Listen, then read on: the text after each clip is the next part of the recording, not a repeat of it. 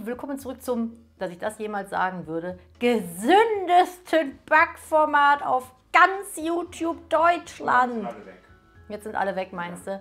Ich habe mir gedacht, wir müssen mal, äh, nachdem wir die letzten Wochen wirklich gefrönt haben und uns reingepfiffen haben, worauf wir Bock hatten, mit Tonnen an Zucker und Mehl und Schokolade und hast du nicht gesehen, machen wir heute mal was Gesundes. Was aber trotzdem süß und lecker ist und vielleicht nicht ganz so gesund. Aber ich habe euch ja gefragt, wie immer auf Instagram, was ihr gerne äh, haben möchtet, was ihr gerne äh, backen, kochen, machen sollen. Und ihr habt euch Frühstücksbowls gewünscht. Smoothie Bowls, genau genommen. Und wenn ihr nicht. Bowls. Schmusi Bowls. Und wer sich jetzt fragt, was ist eigentlich eine Schmusi Bowl? Reicht nicht auch ein Butterbrot mit Käse, eine Käsestulle?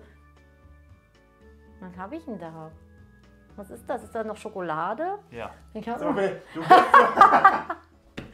Schön, so ist sie, die Influencerin. Pfeift sich die verdammte Schokolade rein und dreht dann ein Video über gesunde Bowls. Ist mir doch egal, ich bin schwanger. Ich esse, was ich will. Guck mal drauf, das ist mir egal. Aua. Äh, ja, ich habe gerade eben ein Stückchen Schokolade genascht. Wenn ihr euch jetzt fragt, was ist eigentlich eine Schmusi Bowl? Im Grunde ist das ein Smoothie in einer Schüssel mit Gemüse und Obst und Du Zeug. so, ja, Du bist die schlechteste Promoterin der Welt. Kommen Sie nicht in meinen Club. Ist eigentlich auch nur tanzen und saufen. Ja, die Leute Wow. wissen wenigstens, was sie erwartet. Wir machen es aber in schön, so Instagrammable, damit ihr Hashtag Homeoffice, Hashtag Smoothie Bowl, Hashtag gesundes Ja, Frühstück dann machen macht ihr erst ein Foto von der Schmusi Bowl, damit alle denken, ihr seid healthy. Und dann knallt ihr euch den Schokohasen rein.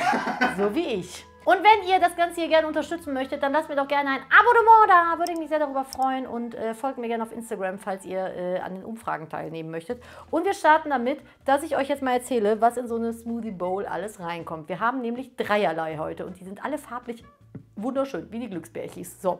Und wir starten mit einer roten Bowl und äh, hingegen aller normalen Bowls, die man so von Instagram kennt, habe ich mir überlegt, machen wir Bowls mit Zutaten, die man halt auch kriegt im Supermarkt, die nicht 18 Euro das Pfund kosten.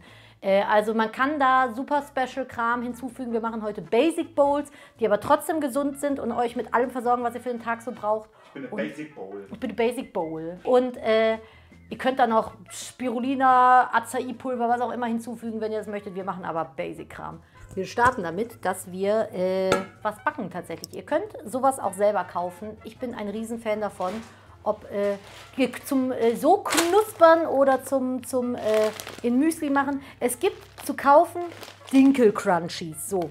Die kann man jetzt kaufen, wenn man aber sich eine große Menge einfach selber machen will, dann ist das auch easy peasy. Und zwar machen wir jetzt Granola. Granola sind Mandel, Hafer, Schmecki, Knusper-Sachen. Die kann man ins Müsli machen, die kann man in seine Smoothie Bowl machen, die kann man so vom Fernseher knuspern. Und ich liebe das Zeug. Und das kann man sich vor allem auf Vorrat machen. Es ist sehr, sehr günstig, wenn man es macht. Und damit fangen wir jetzt an, weil das kommt in unsere erste äh, rote Smoothie Bowl. Und wir starten damit, dass wir Kokosöl, wie immer alle Mengenangaben in der Infobox, in einen Topf packen und dazu ein bisschen Agavendicksaft. Ihr könnt aber auch äh, ja, Honig nehmen, wenn ihr es nicht vegan machen möchtet. Wir machen natürlich wie immer alles vegan. Und das erhitzen wir jetzt ganz kurz. Kommen Sie mit. So, während das drüben jetzt äh, am Warmwerden ist, machen wir jetzt mit den festen Zutaten weiter. Und zwar brauchen wir dafür einmal körnige Haferflocken, gehobelte Mandeln. Ihr könnt aber auch andere Sachen nehmen, wenn ihr anderes sehr, sehr lecker findet.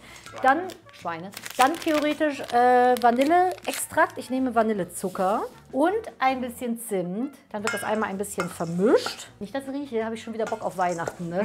So, und ihr müsst eigentlich nur warten, bis sich die beiden flüssigen Komponenten so ein bisschen aufgelöst haben. Und dann äh, kippt ihr das drüber. Dann rühren wir das unter. Bis hierhin ist es sehr unspektakulär. Was übrigens auch noch richtig lecker bei, bei Granola mit dabei ist, das haben wir aber leider jetzt nicht bekommen, ist äh, gepuffter Amaranth. Oh mein Gott, das gibt es im äh, Reformhaus bei Alnatura und ich glaube auch ganz normal im Rewe. Und jetzt braucht ihr eigentlich nur ein Backblech mit Backpapier. Zack. Und dann kommt das da drauf. Dann könnt ihr das noch so ein bisschen verteilen, könnt das so ein bisschen festdrücken und dann geht das in den Ofen bei äh, 160 Grad Umluft für ungefähr 6 Minuten und dann geht ihr mit dem Pfannenwender hin, wendet das einmal und backt es von der anderen Seite auch nochmal 6 Minuten, bis es knusprig und ein bisschen goldbraun ist. So, ihr seht, das hat jetzt eine wunderschöne Farbe bekommen und lasst euch nicht irritieren. Wenn das jetzt noch so ein bisschen lose ist alles. Ihr müsst das erst komplett auskühlen lassen, weil dann verbindet sich der Zucker mit der Masse hier und dann wird das erst hart. Ihr könnt das hier in den Ecken schon sehen. Ihr seht, hier sind schon so kleine Mini-Knuspels. Ihr müsst das komplett auskühlen lassen, dann erst pappt das zusammen. Vorher ist das einfach nur loser Hafer, also nicht irritieren lassen. Das ist einfach jetzt schon so lecker. Macht Granola. Bestes Leben. Wir machen jetzt aber mit der Bowl weiter. Nam, nam, nam, nam. Und dafür brauchen wir einen schönen Teller. Und wir brauchen dafür einen Mixer, denn diese Schmusi Bowl ist ja einfach im Grunde ein Schmusi in der Schüssel. Bam. Und ähm, da kommt jetzt erstmal die gefrorene Banane rein. Dann äh, kommt bei mir Alprosgier. Das ist äh, Sojaquark quasi. Da kommen vier Esslöffel rein. Ihr könnt auch, wenn ihr keine vegane Bowl machen wollt, einfach Magerquark nehmen. Und dann habe ich noch äh, eine Handvoll Himbeeren und Erdbeeren. Da muss ich aber den Strunk gerade noch abmachen. Wenn ihr jetzt aber zum Beispiel ähm, gar keinen Mixer habt oder so, dann müsst ihr auch keine gefrorene Banane nehmen, sondern könnt das Ganze einfach mit einer Gabel zermatschen. Also das geht auf jeden Fall auch. So, ich mache noch ein Schwuppi Wasser mit rein, weil sich das Ganze dann einfach besser mixen lässt. Und dann passiert auch schon die Magie. Pürieren Sie! So, und das ist die ganze Magie im Grunde. Das kommt jetzt in die Schüssel und wird dann mit Toppings garniert, die gut für euch und die Verdauung und den Tagesablauf sind. Und wenn das Ganze so eine Joghurtkonsistenz hat, dann habt ihr alles richtig gemacht. Wir brauchen jetzt als erstes die restlichen Himbeeren. Jetzt machen wir es nämlich schön. Wir fangen hier in der Ecke an. Schlupp, schlupp, schlupp, schlupp. Dann mache ich mir da geröstete Kokoschips rein. Die kann man so fertig geröstet schon kaufen. Ansonsten könnt ihr die auch im äh, Backofen ein bisschen rösten. Schmeckt einfach zu Himbeeren, Erdbeeren und so finde ich super gut. Dann kommt eine Schmecki-Banane dazu. Ach, klasse, guckt mal. So richte ich mir übrigens jeden Morgen mein Frühstück Klar, an. Obvious. immer. Jeder, der was anderes behauptet, lügt. Natürlich. So, und dann kommen wir zum äh, Granola. Und ihr seht, das ist wundervoll fest geworden. Ich habe schon gerade eben gesagt, das riecht einfach wie Weihnachtskeks. Das ist so lecker. Aber ihr müsst, wenn ihr es noch nicht probiert habt, unbedingt mal Granola probieren. Und das kommt jetzt hier so ein bisschen an die Reihe. Ta, ta, ta. Da kann man doch mal einen Hashtag drunter setzen, finde ich. Wenn das nicht gut aussieht, schauen Sie. Himbeeren, Kokosraspeln, Baninchen, unsere Granola und der Leinsamen und der Schmusi natürlich, der eine wundervolle Farbe bekommen hat. Das sieht so schön zusammen aus, finde ich. Großartig. Ich bin gespannt, wie es schmeckt. Ich weiß jetzt nicht, ich kriege wahrscheinlich im Leben nicht alles auf einen Löffel, macht aber nichts. Mmh. Oh, das schmeckt wie ein Cocktail. Mega geil. Die Mühe lohnt sich wirklich zum Frühstück. Das ist echt eine Belohnung, ey. Kommen wir zu Rezept Nummer 2 und äh, einer neuen Glücksbärchi-Farbe, nämlich Schwarz. Was? schwarz. Glücksbärchi grün, ja. Ich wäre das. Ich hasse alle Menschen Glücksbärchen mit einem fetten Mittelfinger auf dem Bauch. Das wäre meine Glücksbärchi. Ich wäre ein Pechbärchi, ich wäre ein Hassbärchi geworden. Und zwar arbeiten wir jetzt mit Blattspinat. Das Positive aktuell ist ja, dass ich, ich glaube, bedingt durch die Schwangerschaft einfach Obst sehr, sehr gut vertrage, was mich sehr glücklich macht. Ah nee, ich fange mit der Mango an, nicht mit der Banane. Und ich bin aber tatsächlich jemand, der solche Bowls am liebsten abends isst. Philipp ist ja so ein Süßfrühstücker. Für mich sind, ist Frühstück eher immer so was Kleines. Und äh, Philipp, der frühstückt immer ganz üppig. Und ihr könnt mir ja mal in die Kommentare schreiben, wie ihr so frühstückt, weil ich bin tatsächlich Team Knäckebrot zum Frühstück eigentlich immer gewesen. Und ich bin Team zu dumm, um eine Mango aufzuschneiden. Wie schneidet man eine Mango schlau auf? Lassen Sie los. Ja, nimm das, du komische Frucht. So, weiter geht's mit Kiwis, den Hoden der Natur. Eine Kiwi ist jetzt für den äh, Brei, die andere Kiwi ist gleich für die Deko. Verdammte Kiwi. Tja, okay, ciao. Und dann kommt da noch eine gefrorene Banane dazu. Wir haben den Blattspinat vergessen. Ach, sehr gut, Nadine. Und ich glaube, wir haben noch was vergessen, nämlich soll ja eine grüne Schmusi Bowl sein. Matcha-Pulver. Ist aber sehr teuer, müsst ihr wie gesagt nicht tun. Wow! So, ich habe mir hier jetzt einmal alles vorbereitet äh, und einen schönen Instagrammable Teller geholt. Und erstmal kriegt der Ole ein Banänchen. Möchtest du eine Banane, Ole? Wer macht denn mal Sitz? Prima, hier, bitteschön. Liebste Banane, ja, ist das eine gute Banane? Prima. So, flalalalalalalalalatsch. Pesto, köstlich. Wir legen das mal so in Scheibchen hier dran, würde ich vorschlagen. Da kommen jetzt Kokosraspeln hin. Du, du, du, du, du, du. Du, du, du, du, du. Das ist richtig, oh, scheiße. Wow.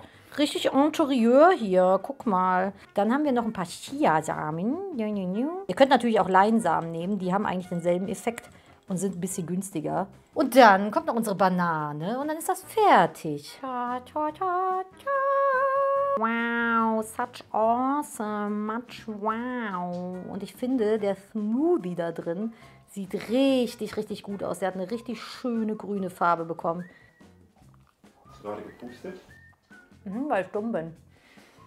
Ich war bei dem Spinat so skeptisch, aber du hattest recht. Darf ich mal probieren? Ja, Ich bitte. habe meinen Hosenstall zugemacht. Philipp hat seinen Hosenstall diesmal zu. Und Philipp ist Smoothie Bowl Experte. Der macht sich sowas gefühlt jeden Morgen. Aber die ist richtig Wow. gut geworden.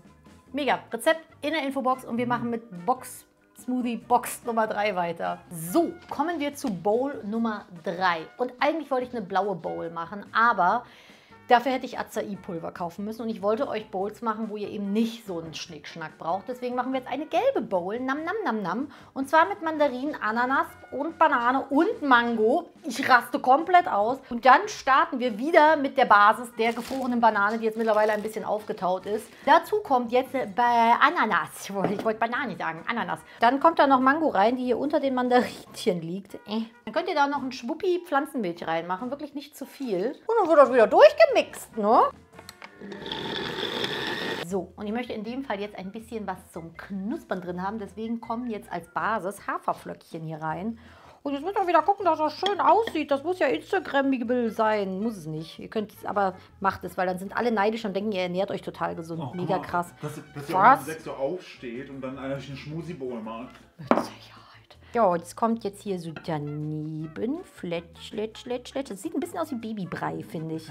Köstliche, wundervoll aufgefächerte, nicht inszenierte Ananas. Dann kommen da wieder ein paar Kokosraspeln dazu. Ihr könnt auch Kokosflocken nehmen. Und dann machen wir anstatt dem Granola, was ihr natürlich auch nehmen könnt, einfach ein paar Nüssis. Hoppala, Walnüsse in dem Fall, meine Lieblingsnüsse. So, das ist unsere gelbe Tutti Frutti Bowl. Ich zeige sie euch mal. Ta, ta, ta. Die sieht aber schön aus. Schaut mal. Das kann man dann natürlich alles ganz hässlich zusammenmixen. Dann sieht es gar nicht mehr schön aus. Aber äh, bis hierhin, finde ich, macht sich das sehr, sehr gut. Ich bin äh, auf den Geschmack gespannt. Jam, jam, jam, jam, jam. Ich will so eine Nuss mit haben. Das ist tatsächlich bislang, finde ich, das mildeste und das süßeste, was wir gemacht haben. Auch supi lecker. So kurios das manchmal ist, dass Leute sich so eine Mühe geben, das zum Frühstück zu machen. Es schmeckt wirklich toll. Aber wenn euch das Ganze hier gefallen hat und ihr das macht und bei Instagram hochladet, verteckt mich gerne drauf in eurer Story. Ich schaue mir das an und äh, wenn ihr Sachen habt, die ihr euch wünscht, die wir gerne mal machen sollen, irgendwelche Rezepte, dann schreibt mir das gerne ebenfalls in die Kommentare. Dann äh, gucke ich mir da ein bisschen ein paar Rezepte raus. Und ansonsten würde ich mich natürlich sehr über ein Däumchen nach oben freuen. Und wenn ihr jetzt noch einfache Rezepte haben möchtet, dann habe ich hier zwei Videos für euch. Und ansonsten sehen wir uns am Donnerstag um 18 Uhr bei einem neuen Video wieder. Macht's gut, bis dann und tschüss!